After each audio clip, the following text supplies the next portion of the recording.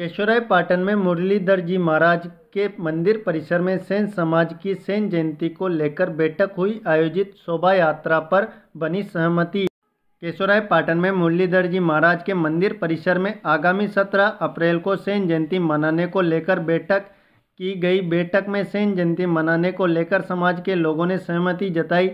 वहीं महत्वपूर्ण बिंदुओं पर चर्चाएँ की। 17 अप्रैल को सेन समाज द्वारा ठाकुर जी की विशेष पूजा अर्चना कर मुरलीधर जी महाराज के मंदिर से शोभा यात्रा प्रारंभ की जाएगी, जो शहर के मुख्य मार्गों से होती हुई निकलेगी। वहीं शोभा यात्रा में सेन जी महाराज की भव्य झांकी सजाई जाएगी। सेन समाज द्वारा सेन जयंती को लेकर समितियों का गठन कर जिम्मेदारियाँ सौंपी। शोभा यात्रा के बाद महाआरती का आयोजन होगा।